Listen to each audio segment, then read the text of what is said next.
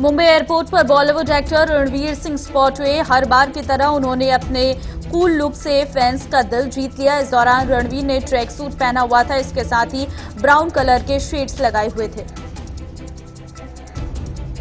Hollywood actress Frida Pinto आज अपना सैंतीसवां जन्मदिन मना रही है।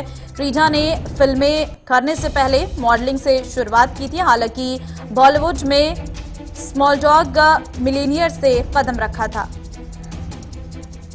बिग बॉस 15 में ईशान और माइशा के प्यार ने खूब सुर्खियाँ बटोरी है। शो के तीसरे हफ़्ते में ईशान सेहगल ने सबके सामने माइशा अय्यर को प्रपोज किया। माइशा उनके प्रपोजल को एक्सेप्ट किया। बॉलीवुड की धक धक गर्ल माधुरी दीक्षित आज अपनी वेडिंग एनिवर्सरी सेलिब्रेट कर रही है। डॉक्टर श्रीराम नेने के साथ माधुरी दीक्षित की शादी को पूरे 22 साल हो गई हैं।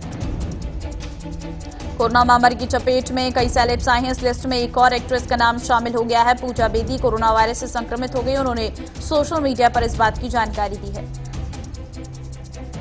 मुंबई एयरपोर्ट पर एक्ट्रेस आकांक्षा को स्पॉट किया गया, जहाँ वो पोलका डॉट ड्रेस में दिखी।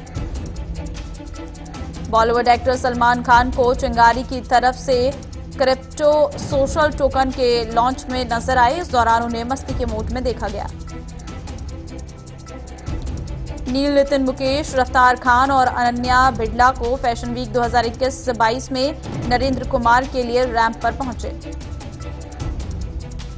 एक्ट्रेस पूजा हेगड़े को कल की collection Bombay Times fashion week 2021-22 के लिए रैंप पर पहुँची, जहाँ वो लहंगे में काफ़ी खूबसूरत लग रही थी। एयरपोर्ट पर सिंगर नेहा भसीन को स्पॉट किया गया। इस दौरान उन्हें ब्लैक क्रॉप टॉप के साथ साथ पर्पल प्रिंट के ट्राउज़र में देखा गया।